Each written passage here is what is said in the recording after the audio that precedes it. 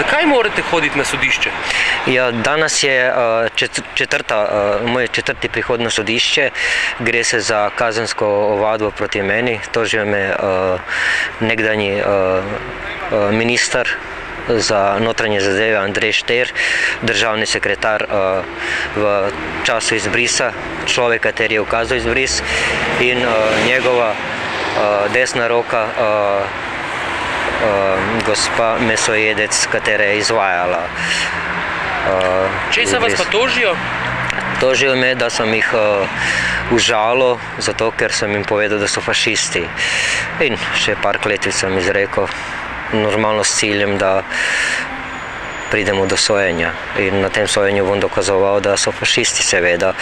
seveda uh, nekom reči, da je fašist, a priori ni žaljiva beseda, če to izrečemo fašistu. In, uh, zato uh, od, svoje, od sodišča zahtevam pošteno sojenje in uh, izvedence večjih strok, uh, da nam pojasnijo, kaj je to fašizem in potem primerjamo to z osebami in z njihovimi dejanji. Kako si pa razlagate današnje nesojenje, današnjo neobravnavo?